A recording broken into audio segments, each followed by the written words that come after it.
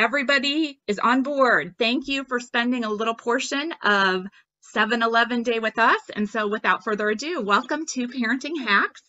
Um, Parenting Hacks is an ongoing series of workshops in which we pair an expert with a parent. And I am the parent. I am not the expert. Um, I am a mother of five, and my name is Moira Allbritton and I work for the Exceptional Family Resource Center. And I have had in home supportive services for two individuals in my household. And so I wanted desperately to partner with my friend Mary Ellen Stives of the State Council on Developmental Disabilities um, to get a high quality, plain language um, presentation to the most people in order to reduce the real and I think the psychological kind of hurdles of applying for and accessing and receiving these kinds of services. So I'm going to go ahead and turn it over to Mary Ellen for an introduction. Thank you, Moira. Um, good evening, everyone. Thank you for joining us tonight. My name is Mary Ellen Stives. I'm with the State Council on Developmental Disabilities, and we cover the San Diego and Imperial County area. In my past life, before I joined the council, I uh, worked at an independent living and supported living program. So I encouraged and had the opportunity of supporting people and obtaining in home support services for many, many years. And that's why it's so important to really get this information to you know help people understand that this is a service available to you this is one of those generic services that you will often hear used by the regional center and others. So by generic, it means it's available to you. So use it. So we'll just get going. What we're going to cover tonight, if you want to, mm, oh, there we go. Moira, thank you. The learning objectives to recognize the intended purpose of in-home support services, to understand the intake and eligibility process, to know how to meaningfully participate in the IHSS assessment and determination. And we'll get into that in that slide in more depth.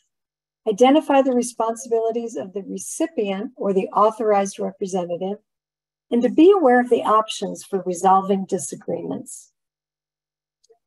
So, what is IHSS or in home support services?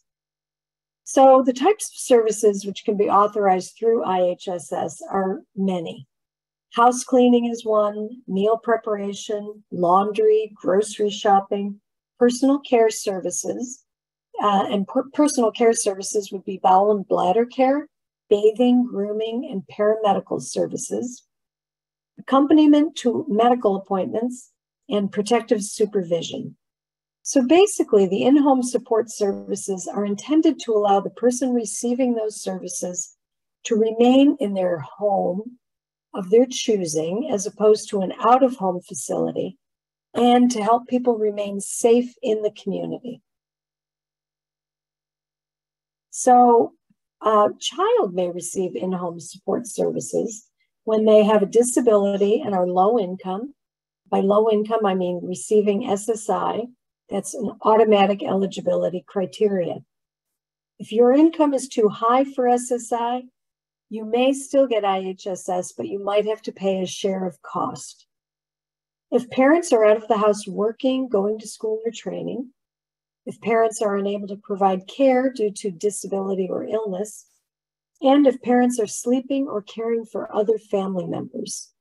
And we don't have to tell you how daunting it is sometimes to get all the business you need taken care of when it's you doing the caring for everyone.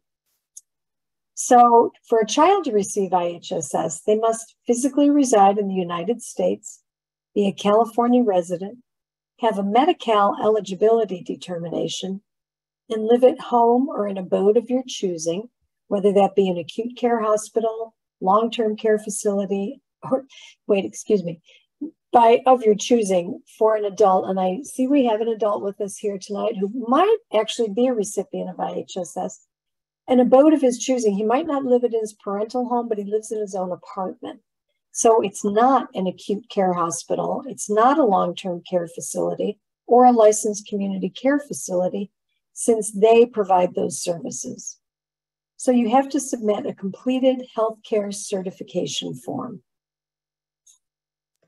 And I'm going to pop in just with a quick little side note for any family members that might be here tonight who are maybe newer to the regional center. Um, maybe their family member is a, is a recent has been recently identified or is a newer client. Um, and if you do not have Medi-Cal already, um, I do want to just mention that there is a process with the regional center in which you can be um, your your loved one might be made eligible for institutional deeming. That's the old fashioned word um, for receiving a home community based services waiver. And so there is a link on our resource slide. I just wanted to kind of plant that seed um, that if you're not Medi-Cal eligible right now, there there might be another path um, that excludes means testing for the individual um, who is a regional center consumer. Thank you, Moira. That's really important information. So if you live in San Diego County, here's the application. I don't know, did you want to go through the application, Moira? Just for people to view it. Well, we can save that until the end if people want to go back and see it. You call this number, the 800 number, and then you complete the application with call center staff. Then you email or fax it you can mail it in person. Here's all the addresses. So you'll all be getting a copy of this PowerPoint. So you'll have this information. If you live in Imperial County, same application, but you go through aging and disability services. And these are good um, little contacts, IHSS contact us type of messages. And try to document when you make the application, who you speak to, anything unusual or meaningful that happens during that phone call, it's always good to just keep a record of when you reached out because time is of the essence. You want to get that application submitted as soon as possible and get the in person evaluation done. So, Moira, take it Here away. Here I am, lurking. Um, so, we are at the point where your application's been processed, you finally are going to be scheduled for an intake interview or visit. Um, often you will get a letter in the mail telling you this is the date we will be at your house. Um, so just kind of as we would say for anything to do with social security office if you get something from aging and independence or from the county of san diego i encourage you to not let it sit in your pile of unopened mail but rather open it and make sure that you are on top of um, your correspondence with in-home supportive services because they will um, let you know. And if you do have a problem with the time that they've given you, you can certainly call and they, they explain how to change your appointment. But just a little tip from someone who's been there and might have opened it at the last minute. Um, so the IHSS worker will conduct an interview. It is not short. It is not like a five or 10 minute experience. It's a little bit more protracted, particularly that um, first one, but also for um, some redeterminations. And their purpose is to really assess how much help the person who is applying for IHSS services requires. And for minors, the amount of assistance is going, so minors for anyone under the age of 18, or the age of majority, the amount of assistance is going to be compared to the amount of assistance that a same aged person without a disability would require. And they have all sorts of, like, they have it down to the second of how long it should take a person who's this old to accomplish a particular task. So, um, a couple things that I like to mention is that they will make the appointment. They will talk about the medical condition, the living arrangements. They will talk about any help that you are already getting as a person from your family, your friends, and others. The IHSS worker will also talk to you about IHSS services and then the particular services that you need. They will talk about how often you need the services. And so this is really, if you're a family member or if you are a person who is advocating for himself or herself, it is really important that you take a few minutes before that appointment with the IHSS uh, caseworker in order to really think through these are the services and this is really how it is for me to try to perform them or for my loved one to perform those services. It's important to be completely honest and forthright, candid, transparent, all of those words. Like this is not a time to try to be like, I can do everything. It's not a day to talk about the very best day ever, but rather, what does the average day look like? What is it really like um, for your loved one? So it's really important to have some details to be able to talk like like in really excruciating detail sometimes about what might not be obvious to someone who's just meeting your loved one for a few minutes um, maybe on a good day. and um, it's really important to talk about what's occurring real time at the time of that um, home visit. So I would recommend, and I'm sure Mary Ellen will nod, that you have documentation, that you have contemporaneous, contemporaneous records, so real time kind of documentation, photos, videos, all of those things that kind of bring to life what it might look like. Um, and this will become particularly important um, for some uh, some individuals who might be asking for or requesting protective supervision for their loved one. Um, when we get to the resources pages, you're going to hear me say that over and over. When we get to resources, please know that lots of information is linked from that page. We realize that children are not independent creatures. Even children without disabilities um, do need supervision and assistance. So again, the younger a child is, perhaps the less services IHSS will think they require for certain things. But again, every single issue needs to be considered individually um, based on the information you provide in an interview. You'll see on the slide, I put um, as one of my like sort of talking points that the IHSS worker may ask to view the bedroom, the living area, the bathroom of the individual applying for IHSS.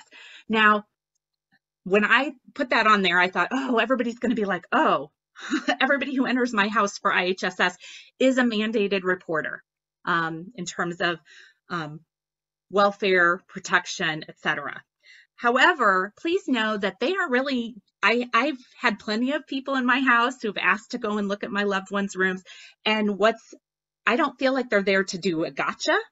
Um, I, but I have had on a couple of occasions someone say, Hey, did you know they have this particular kind of handle that you might want to look into? Or I saw this really neat, you know, like bed alarm for, you know, like, and gave me a very specific recommendation. So just, you know, being open, but but I will admit, I, I do tend to like do a quick clean.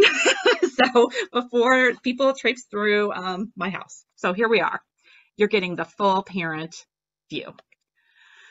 So other information. Oh, go ahead, Mary Ellen. More, just a quick thing. I, and I should have done a poll at the beginning. I'm not sure if anyone here is an adult with a disability who's going to be applying for IHSS or would like to, or you're the parent of an adult, sibling or child who you think would benefit from in-home support services. As Moira mentioned, um, you know, we're a very strength-based world. We go to school, we want to talk about all the great things our kids do. And that's important to do, except in this situation. You don't have to make things up, just be honest. And that's very difficult sometimes for an adult with a disability because it's sometimes very embarrassing to say, I don't really know how to make a meal. You know, when asked, Do you cook your own dinner? Oh, yeah, I've had people say, sure. And the worker does not know, you know, the next question should be, tell me about what your dinner looks like, because a peanut butter and jelly sandwich, a dinner does not make. So, you know, just to gently let someone know you're available if they would like to you to join them at their um, assessment because having that outside input sometimes really can allow the person to get the amount of support they need because it's um, it's tricky you know people none of us want to say what we can't do and that's kind of the direction you've got to go in when you're applying for services So um, anyway, just honesty is the best policy. Sorry, Moira. No, I appreciate that. And I, I, that's one of the best parts of parenting hacks is that we have kind of those different um, perspectives and i'm definitely coming at it from a parent perspective and i appreciate um, you helping to to kind of present all the viewpoints. Um, so under the question of what other information might you need to supply to the in-home supportive service folks, um, absolutely a healthcare professional is going to need to complete a certification on your behalf. And this is just to testify to your your or your loved one's medical condition and that you will need some help.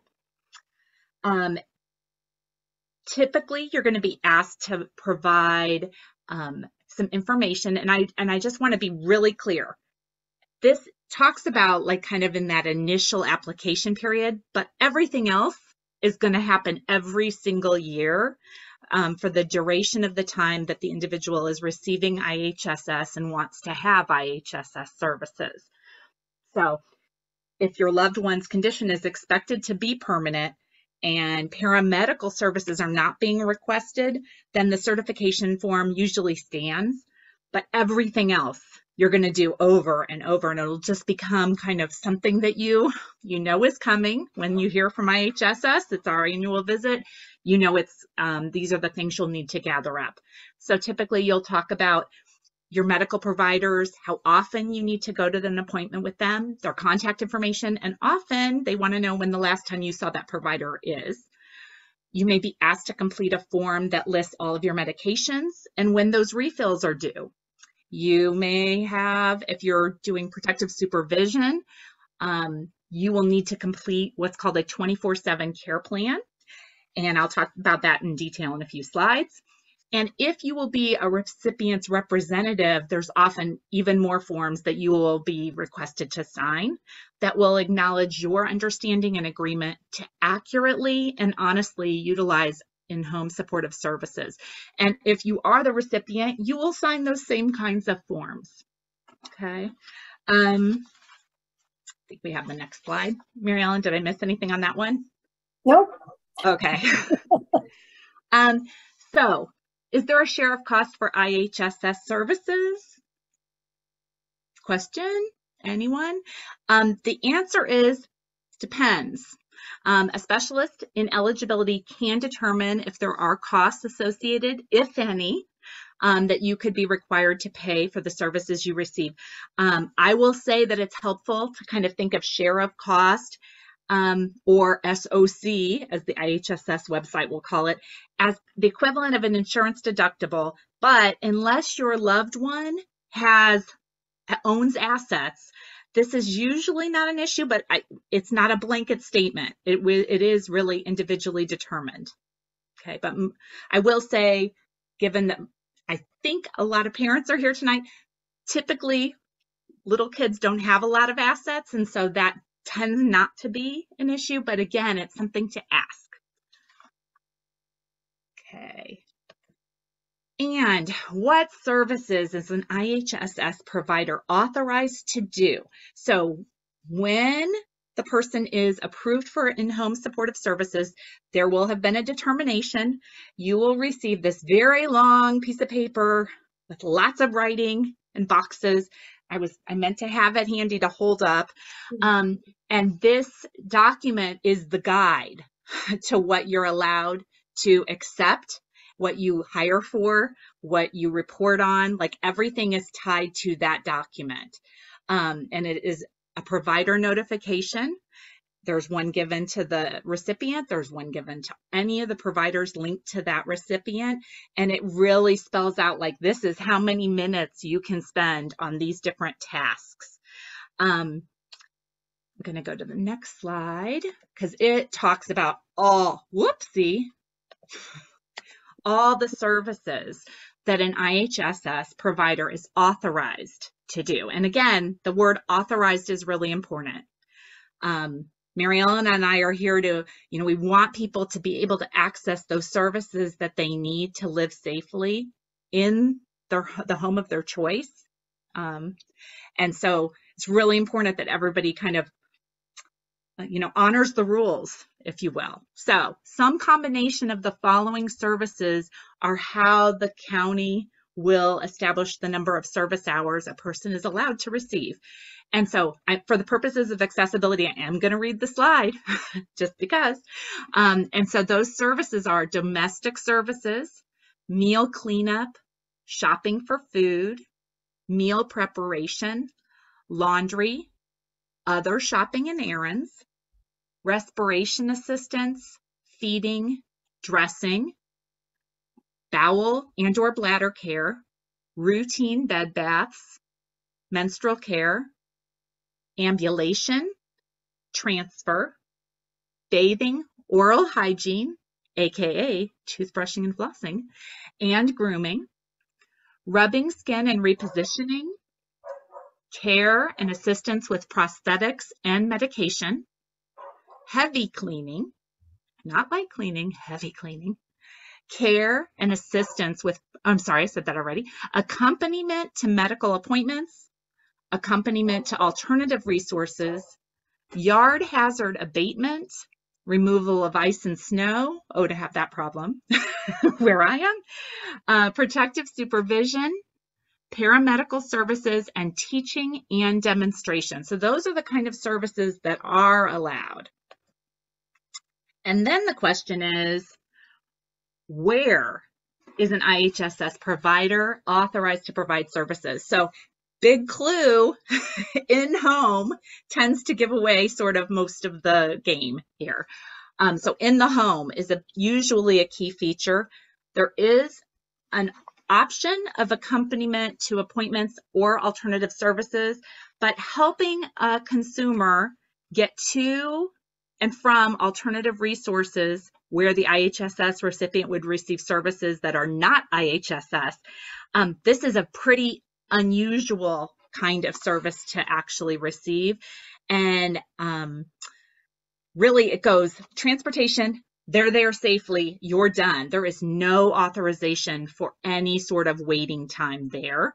And same goes for accompaniment to medical appointments, helping the person to get to and from the doctor, dentist, other kind of health care, health related appointment. That's fine. But sitting around the waiting room, not allowed. So it's a, it's a very discrete and, and relatively the accompaniment to medical appointments is not so rare. But again, just keeping in mind, not the waiting part. And of course, as we know, that's maybe where we spend a lot of time. So I did want to mention what can't an IHSS provider do? So besides waiting, standing around and waiting, um, there is, I think, particularly around the issue of protective supervision, some kind of difficult gray areas, just because protective supervision, you're pretty much waiting. you you know, you need to be poised to keep the person safe at all times.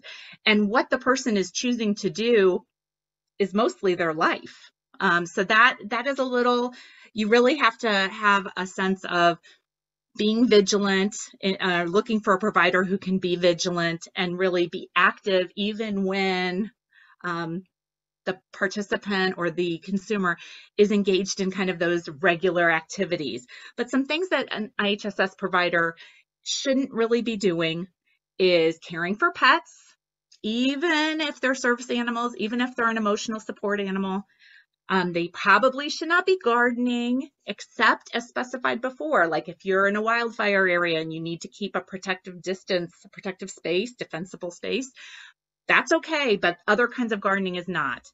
Um, repair services, paying bills, nope. Um, watching TV, having, you know, like just kind of having a conversation. Those are those are technically not on the list of approved services. And again, one more time around the bend, waiting for appointments. Waiting is just not on the list of approved um, services. Go ahead, Mary Ellen. I was just going to ask if you wanted to address questions oh, at this point in time or afterwards. There's some very good questions in chat.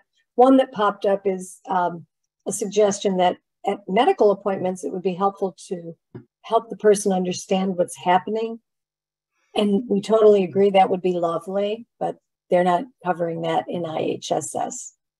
So try to think of in-home support services as one of a cluster of services that you can kind of piece together to make a whole, you know, meaningful day for someone. Um, for adults who live in the community, typically they would have either a supported living or an independent living staff person that hopefully could meet them at that appointment and explain what's going on. Uh, it's not the role of the IHSS provider to, to serve in that capacity. And CalAble does not count against you when they're counting your resources. That was another question. Sorry, Moira. I just no, thought. thank you. No, I, good I, question, I but appreciate time to, yeah. No, and I and I think that you really ra- that raises that issue of, you know, it what is the role of the in-home supportive service provider, and the provider's responsibility is safety and support, but it really shouldn't supplant the role of loved ones and other kinds of support persons. So just because you hire someone to do IHSS doesn't mean that you necessarily want to have them hear all of your HIPAA protected healthcare information. I mean, yes, Right. providing a personal service, but maybe not directly involved in making you know healthcare decisions or supported decision making. So just um, I really appreciate that clarification. Um, we're now at probably the elephant in the room, which is how do I, in this economy, in this area, how do I find an in home supportive service provider? There are several sources, and this question is really written from the perspective of a self advocate, a person who needs that support for themselves to live their a self determined life. Um, so, several sources, family members, um, often uh, family, extended family, um, sometimes neighbors, those kinds of, you know, inner circle. Um, sometimes it's the person's representative. So in my case, I was a parent of a person who was eligible for IHSS. And so when I have five kids under a certain amount, I really needed extra hands on deck. I was not looking to be the provider, I was looking to have assistance. And so, really, my role as the parent also then became sort of an HR, like recruiting, hiring, supervising, training, um, staffing, staffing for those hours um, for two youngsters. So that is another source. And of course, that means the representative circle of um, supports and contacts.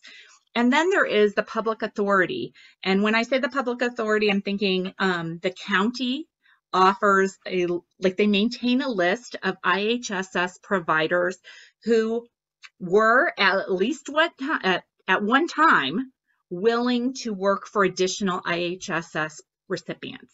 So sometimes you can you can contact the public authority and say I'm looking for a person. They can send you a list. You can work your way down the list as a source of other potential folks. So um, I do want to also on this slide address when can a parent serve as the IHSS provider? And this is particular for minors, again, children under 18. IHSS can pay a parent or a family member to help with the services required, but to be a parent provider, the following have to be true. So first, the parent must have either quit full-time employment or be prevented from working full-time because of the person with a disability's um, need for care. And there cannot be another provider available, like readily waiting to, to like just waiting to work. um, and if the services are not received, ultimately this child would be at risk of an out of home placement or receiving inadequate care. So those are those are the standards that they apply to a parent serving as a provider for their um, child who is a recipient. I do also want to mention that respite services from the regional center, like people sometimes kind of like think, oh, if I tell the regional center I'm getting IHSS, they're going to take away my respite. Or like like there's a lot of like worry about sharing what resources and generic resources that we're um, obtaining from other sources. And as Mary Ellen said right at the beginning, regional center's expectation is that if you are eligible for IHSS, you are applying for IHSS. That regional center is there to kind of backfill the other needs, but that we're really maximizing every consumer's access to services to which they are entitled. So, um, a, a, child, for example, should be able to receive in home supportive services, even protective supervision, which tends to be a lot of hours, without forfeiting respite. Those are two different purposes. Respite to, for the parent to get a break from the care. IHSS is to keep the child in the home by providing those supports, the safety, and whatever services have been determined. Um, additionally, the hours that are authorized by a waiver for home nursing care, for example, also should not count against in-home supportive service hours. So those are just something to keep in mind. Like from, if you happen upon a service provider who seems to be like judgy, that's not the way this is supposed to work. Respite is a completely different service. So be protective of it. And I'm going to, I believe I have one more. What if I'm unhappy with a provider? So parent to parent, I would love you to trust your gut. Um, these services are supposed to be helpful.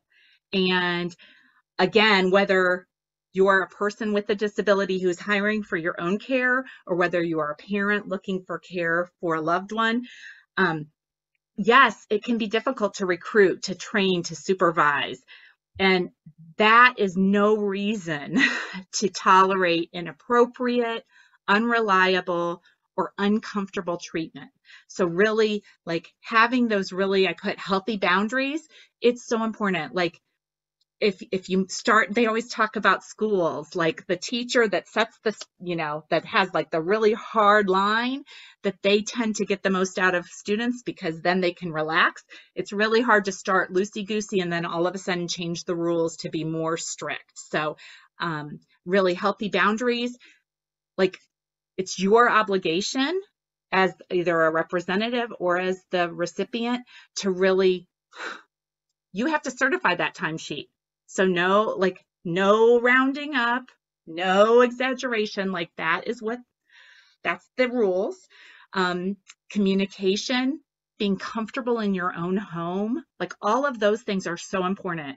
And obviously any sign of any sort of abuse or inappro in, impropriety, um, there are a number of places that you can contact. So this is why I'm going to put a plug in for like making thoughtful hires, that we don't just take the first person who applies just because we're desperate for help, that we really do screen applicants, that we meet in person. And if, if I'm feeling like stressed, or if I'm a person that's hiring someone for the first time to care for me, this is another time invite a friend, invite a loved one over to help you with the interview and to get their opinion too. Like maybe, do you get the same vibe um, during that interview?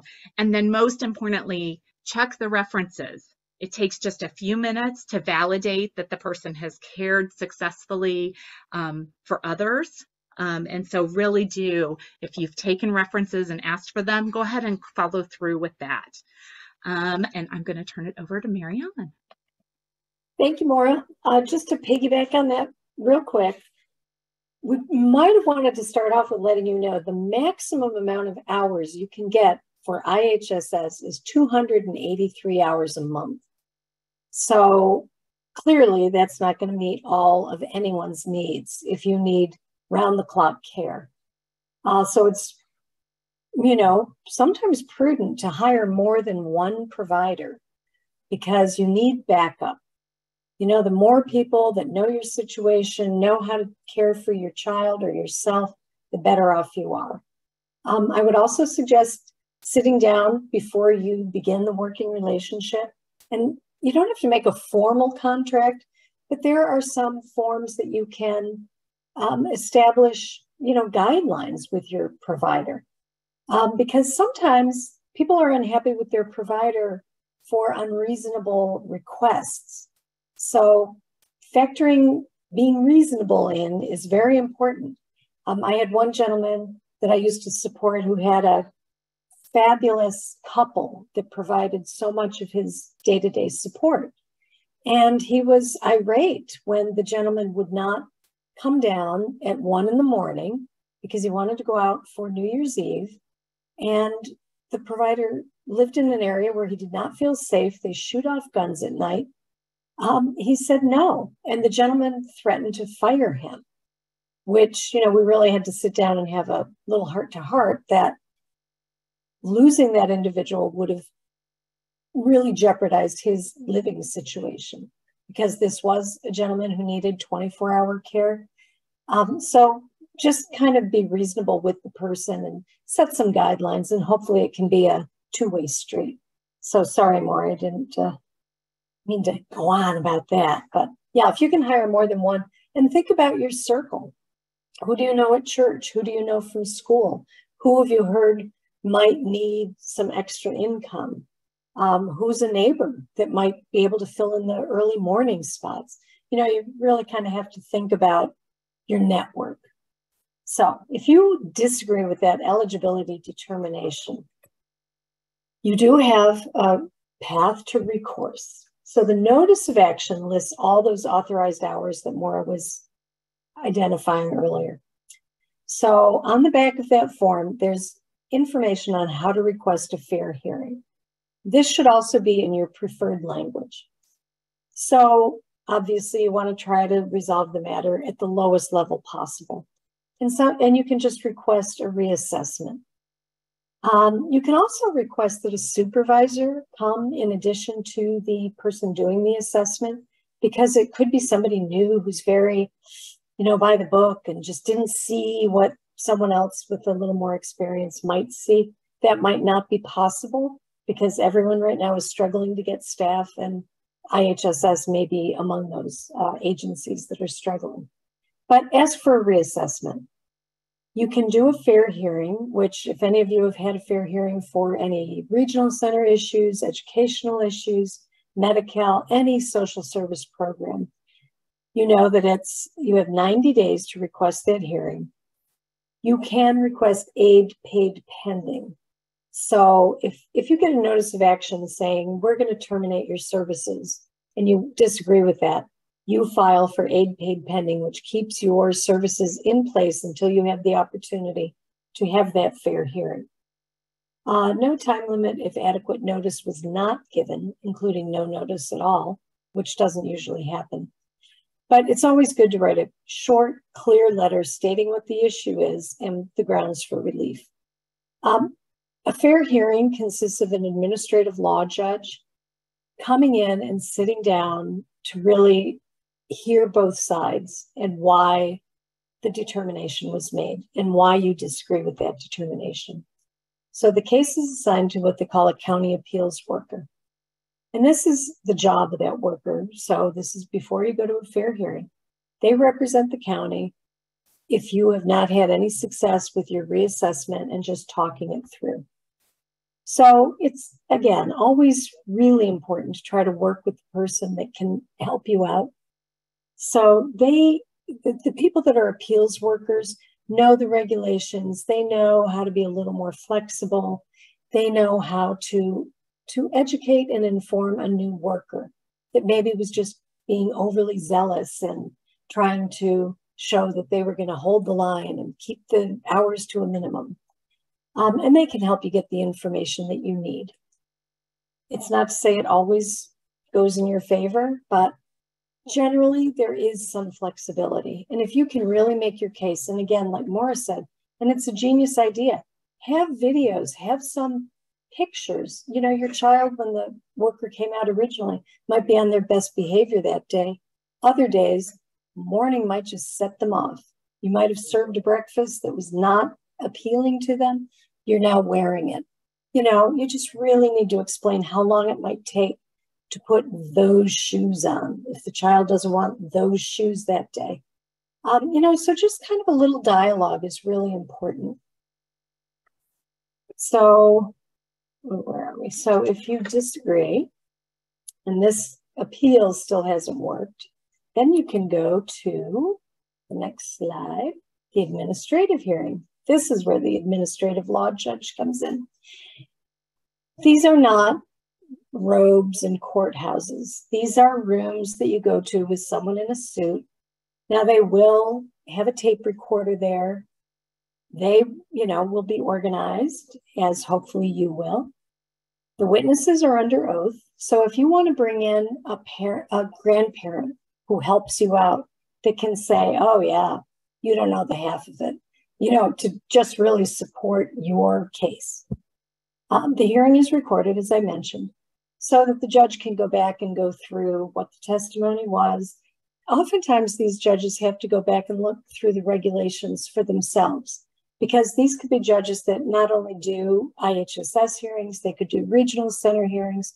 So it's good to have that on record. And again, don't feel like you can't bring support people because you can.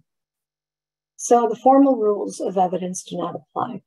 So this means that hearsay is admissible and that documents do not have to be authenticated. So by hearsay, it could it could be a neighbor saying, "Oh my lord, you know, I see this child out banging his head on the on the driveway every morning because they hate getting on the bus.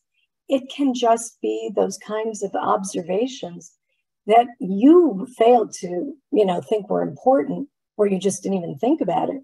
Have those people come in. They represent your child. Um, the judge will, of course, weigh the evidence based on their determination of whether or not this person is reliable and only relevant evidence should be presented.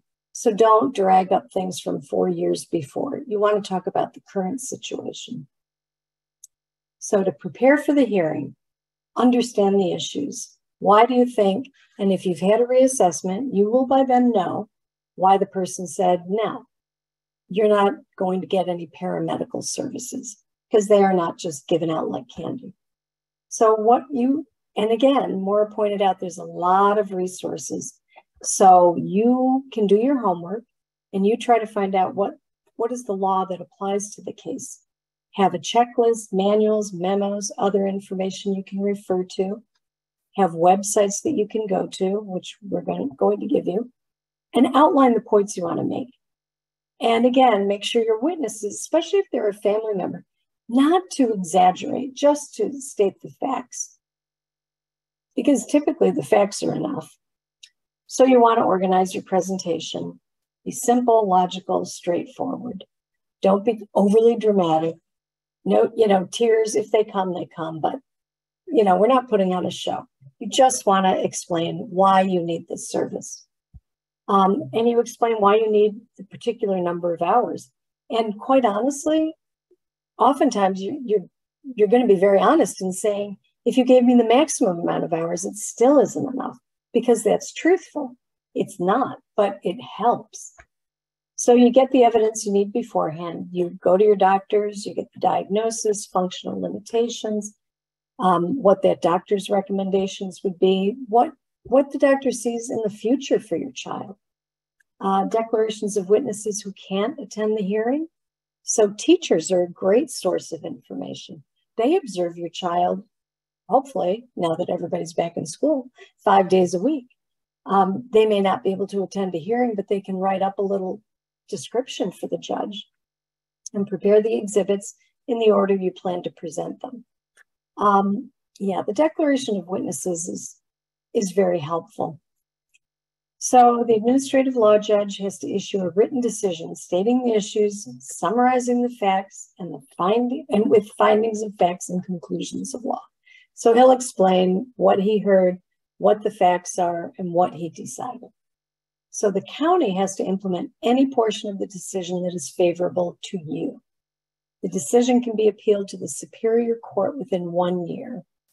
So if the if this does not go in your favor, you can appeal to the Superior Court of California.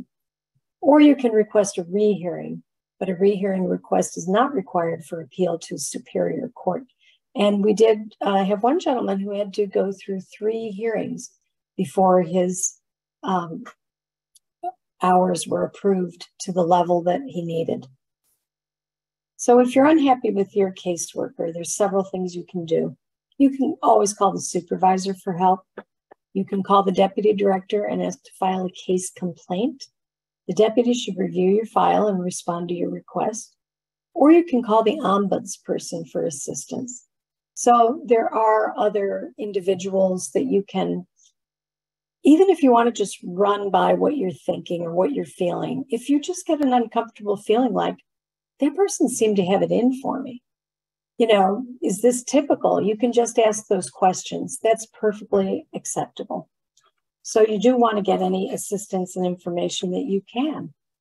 So that is that special I, topics. It is special topics. Um, I did want to address. There's a couple. There was a question in the chat. I saw a hand up and then down. Um, for I'm he, seeing that people are really interested in getting a copy of the recording. Typically, it takes us at least four hours to process and get it back. However, I I see a couple people have like time sensitive IHSS issues. We are and get your email address, contact information.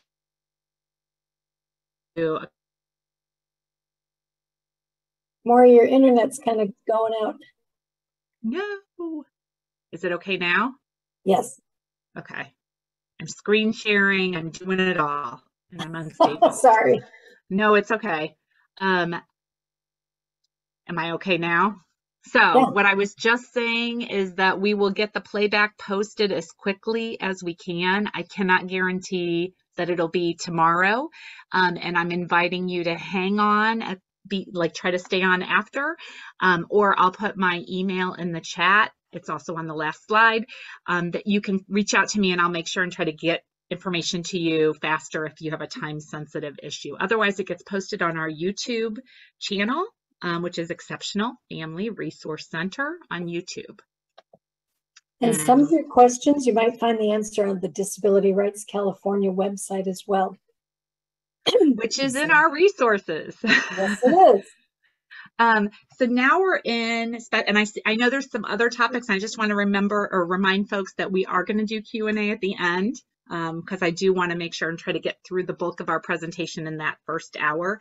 Um, so special topics, paramedical services, these require authorization and training by a medical professional before they can be provided. And so some of the examples are administering medication, giving injections. You see them blood urine testing, wound care, catheter care, ostomy, irrigation, treatments that require sterile procedures, enemas, digital stimulation, insertion of suppositories, tube feeding, suctioning. Those are the biggies. Um, it's important that you let your provider know what will be expected. They need training. I'm just going to say that training, training, training, training. And it is very important that they do not perform any of those paramedical services until they have been trained. That's like the most important piece. Um, now we're at protective supervision and I saw there was a question in the chat. So hopefully this section we will help to clarify. And if it doesn't, then we'll circle back at the end. Um, and we have a number of resources um, in a few slides that specifically deal with protective supervision, both for children um, or minors, as we call them, or um, adults. So as I was talking about a 24-7 care plan, once approved for protective supervision, which I know I'm kind of putting the cart before the horse, but I want to make the point, um, it needs to be created by the recipient and or their representative, and it needs to document who is going to be responsible for protective supervision at all times. So Mary Ellen talked about 283 hours. I've seen hours that are more like 160, 168. Like there's a variety of hours that you could get and it still count as protective supervision. And like Mary Ellen said, doesn't count 24 7. So there's still going to be other people involved in providing for the safety and supervision of the individual. Um, so basically, what people often reach out and say, What do I put in the 24 7 plan? And I'm like, The truth. so you're basically going to detail, basically, I usually just do a week and talk about what is that the life of the recipient look like? And so that would be when they're in school. They get on the bus at this time. They come home at this time. Between those hours the school has them. And if they have a uh, one-to-one aide or supplemental support that's another key indicator that they probably need a lot of support. Um, you can also talk about other programs, therapies, community access. I used to put like my child goes to church with us, uh, with our family for this hour or this hour and a half. Natural supports if you have family in the area, if you're lucky enough to have a grandparent nearby or a cousin or an aunt, if they're helping you, those are all things that you can put into the 24 7 care plan. And again, the main reason that they ask you to do this or require you to do this is really to make sure that you, as the primary person trying to support an individual, that we're really thinking if something happened to you, this is the plan they're going to look to to help to cobble together something um, until you can be back, um, you know, kind of running the show again. So thinking about who's knowledgeable for about your loved one, familiar to your loved one or to the recipient um, who could assist. So that's kind of my 24 7 care plan. But protective supervision is really consisting of observing behavior and then being able to intervene to safeguard the recipient. It isn't going to be to prevent all behavior from happening, but it's merely injury, hazard, or accident. Um, they will look to see about non self directing behavior. That means that the person might appear to be aimless, con- confused, perhaps have an impairment.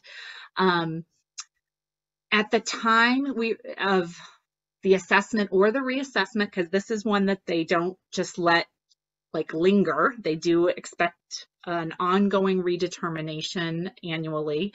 Um, the need to have that 24 hour a day supervision in order again to remain safely in their home. And I should I should make that clear in the home of their choosing um, for adults. And so it is with that combination, like I talked about the care plan, they're going to look for what more hours are needed to provide um, a reasonable amount of safety. So next, and I think someone asked, is it a separate application? No, but it is helpful to kind of go in going, I'm also asking to be considered. I need my loved one to be considered for protective supervision. Typically, if there's some significant behaviors or behavioral profile, that should be the like the flashing light for the caseworker, but I don't um, recommend that you leave that to chance. I, I come in saying I would like to be considered for all the services that my um, loved one is eligible to receive. So um, kind of the what is protective supervision not? so what will not be authorized? And this is to be social. That's not protective supervision. Um, when a need is caused by a medical condition and the form of supervision that is required is medical in nature, that's also not protective supervision. And again, we're drawing really fine lines like that are sometimes very hard. Like as parents, we're like, what's the difference? There's a difference in who's paying, who's responsible, what is the purpose. Um, in anticipation of a medical emergency. So, as someone who has a loved one with lots of neurological issues, including seizures, it's really hard to go, what do you mean protective supervision isn't for if they drop to the ground and have a seizure? That isn't that getting hurt? No, it's it, it really has to go back to the ability to be self-directed, the ability to be in control, to make like appropriate calculations about safety risk, those kinds of issues. Um, do they know if they run in the street that it's a very bad thing? Do they, you know, understand all of the consequences of behavior? And if the answer is no, then that's a conversation to have. Um, to prevent or control aggressive or antisocial behavior. This is another one that protective supervision is not there to prevent um, aggressive behavior. It's to protect the person with the disability, not to protect everyone else in the environment, which is another really hard one for families sometimes to um, kind of rationalize. It's also not to guard against deliberate self-destructive behavior such as suicide. Um, or when the individual, sorry, there's a typo, knowingly intends to harm himself or herself. The question we get, can young children qualify for protective supervision? Answer in red. Yes, C. Um, so a county worker should always assess an IHSS eligible minor, again, child, for mental functioning. Um, again, though it says so, so it, there's a citation with a section, uh, don't count on it. It's, it's, I, again, if that's something that you are hoping to receive, it's helpful to make that request, to verbalize that request. Um, so the following steps are taken when assessing a child's mental functioning. And so they should be assessing all eligible children for a mental impairment. They should be looking whether there's documentation of a mental impairment. That could look like an IEP assessment often for children. That's a helpful um, resource to bring in. If your child has had an evaluation again for like supplemental support or a special circumstances instructional assistant, where it's really looking at activities of daily living, behavior, um, other medical needs, like it really lines up all the kinds of supports that might be needed. Those are helpful documents to have. They should be reviewing a minors' mental functioning on an individualized basis, and they should not presume it says a functional score of one. You're like, what's one? One means fully independent. So they should not presume independence. They need to ask. They need to elicit that information from the caregiver or from the person with a disability. Um, they also need to determine whether they need more supervision because of the mental impairment than does a minor of the same age without such an impairment. A minor must not, that means must not, shall not, be denied protective supervision because a parent leaves the child alone for some fixed period of time, like five minutes. You, in your interview, parent to parent, you in the interview do not need to pretend that you've never showered alone. Like you can admit that I have to take a shower to be a person, like, or I have to go use the restroom sometimes.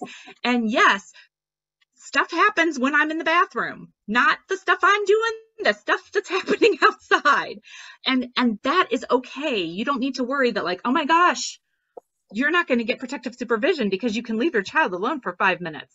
I mean, you're going to have some probably information about what happens when that has to happen, but that is not a reason to deny protective supervision. Um, the social worker does need to evaluate functions of memory, orientation, and judgment. And they should review the information provided by the family member, and they are not required to obtain the information or documentation. So it's up to you upon request to provide. So if you are asked for something, it's a big signal that you need to provide that documentation. It will not be up to that IHSS social worker. If you don't provide the IEP assessment, let's say they say, could you provide, you know, documentation that your child has um, been assessed as having an intellectual disability? Go get the form, get it to them. They're not going to go to the school and ask for it. You need to be that that linkage. Um, we are on teaching and demonstration, and I'm going to kind of breeze through this only because this is a very short-term service. It cannot go longer than three months, and the purpose is usually for adults to help teach a service, to teach and demonstrate um, how to do some self-care or some household tasks and the expectation is that they're going to learn it and then IHSS can discontinue that amount of hours that would be on that line.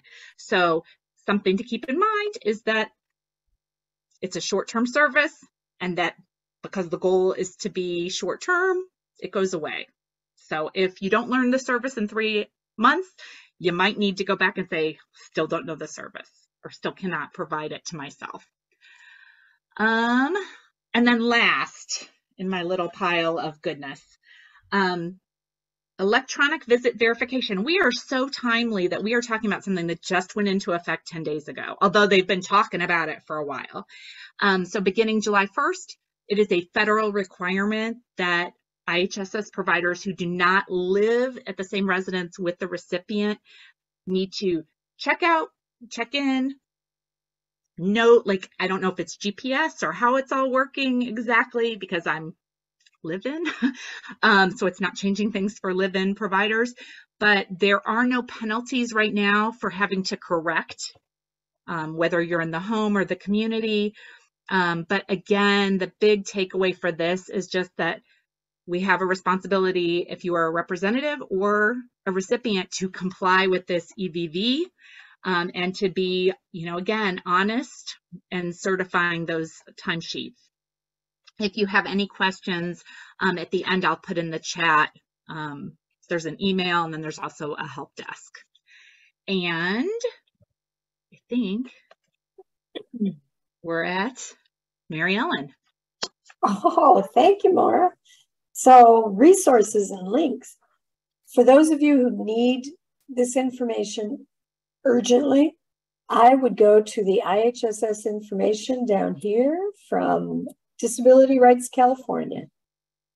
They have an excellent guide. All of these are really good pieces of information, but it's very succinct and it's very um, easy to identify the question that you're that you need an answer to on the disability rights website. That's my personal opinion. All of these things are really helpful though, because it's like so many of our systems, it's just another kind of a forest to, you know, go through. You have to get the lay of the land. You have to understand what the rules are. Um, but it it's so beneficial when you get it it really can just make such a difference in your life. Don't be intimidated by anything that we've said. And don't feel as though if something changes, you can't request another assessment. Excuse me, people have health issues. No one's life is this nice linear growing, growing, growing process. You have peaks and valleys. So, someone who's, if you go into the hospital, they do obviously suspend your in home support service hours, but when you come out, you may need additional hours. So, having a good relationship with that caseworker is so important because they're the person that gets to know you and really can understand your situation. So, when you need, you know, a few more hours here or there, it's really good to have a great relationship with that individual. Um, I don't know, the self assessment. Oh, I was going to just um, mention that these, I ended up putting all the Spanish links and English links sorted. So it goes title, English, and then Spanish below it. And then the next title, English, then Spanish, which you can probably tell. Um, there are, I'm going to just chat through this share of costs. Those of you who are concerned about that, there are links for that kind of information. Authorized tasks, functional ratings, so that you can really kind of have an understanding of what to expect at that interview um, and kind of get used to answering one, two, three, four over and over and over during the interview. Um, some information about paramedical services. Um, right now, unfortunately, these are English only links. Um, there's information on uh, protective supervision for minors and for adults. Disability Rights also has a pretty nice uh, assessment criteria worksheet where you can kind of do a self-assessment and kind of get a sense of what you should be offered. Um, it's in English, but sorry, I'm not in charge of the world. Um, and then there is a brochure on institutional deeming. Um, just if you do have a question and have never encountered that concept and your loved one does not have Medi-Cal, I encourage you to like look into that if you're uh, loved one is a regional center consumer. And then these are both web pages that can be translated. Um, I did want to just make a couple more comments, sorry. In the resources and links, we're still training. Um, Self-certification of live-in providers. And Mary Ellen was like, I'm not touching it. I'm like, I will, I will into the breach. Um, so when you reside at the same address as the recipient, your IHSS wages as the provider may be excluded from your gross income for purposes of state and federal income tax. This went into effect a few years ago. Um, and so it's something to, to know if, especially if you are a parent or a sibling of a person who is an IHSS recipient. um, just something to know. And then steps to become an IHSS provider. Um, if this is all kind of new to you, um, there is a pretty pretty structured process. And I'm going to say to you, it is not the fastest process ever. Um, you are required to attend an IHSS provider orientation that's given by the county, and you will learn important information. Um, you will have to complete and sign both a provider enrollment form as well as a provider en um, enrollment agreement can't be one form, it has to be two. And then you also need to get fingerprinted and go through a criminal background check by the California Department of Justice. These are non-negotiable. Even if you are a parent, you are going through those same things. The nice thing is that they can, like when you start the orientation process and you're approved, like there's there's a little bit of retroactivity that can go on. But um, something to keep in mind is that it does at least when I was going through, last I knew, um, the onus on paying for that background check and uh, fingerprinting is on the provider. So, which it's not awesome. So I didn't mean to end on a sad note. Mary Ellen. yes. Thank you, Moira. Those are all great resources. Um, yeah, because again, we are a very resource rich community if you know about the resources. So now you know, consider yourselves informed. Um, and yeah, the tax thing did change a few years ago, thank the Lord, because, you know, um, they have unionized IHSS workers and the pay has increased, you know, substantially from what it used to be.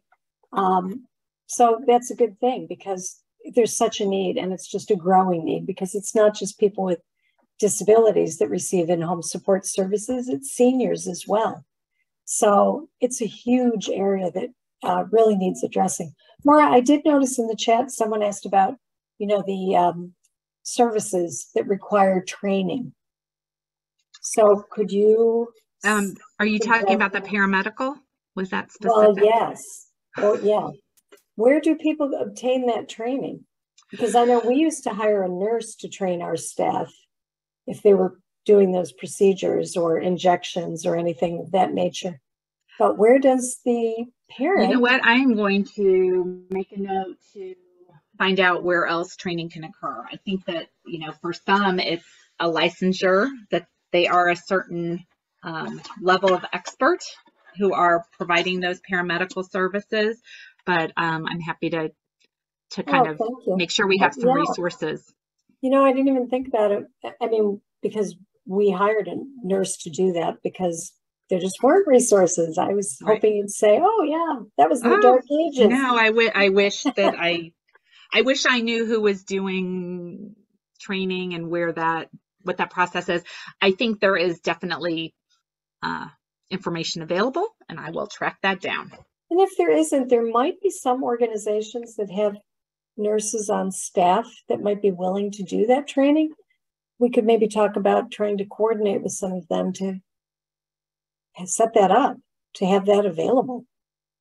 You know, I'm thinking like Home of Guiding Hands or somewhere where they they utilize nurses on a regular basis. Can't hurt to ask. And I'm going to ask if we're going to open it up to question and answer. I'm going to stop the share and I'm also going to, if everybody's gotten that information off the screen, there we are. And I want to be able to, I'm seeing an, an acronym and I have to say that I didn't, I think WCPS, Go ahead, I'm looking up an answer.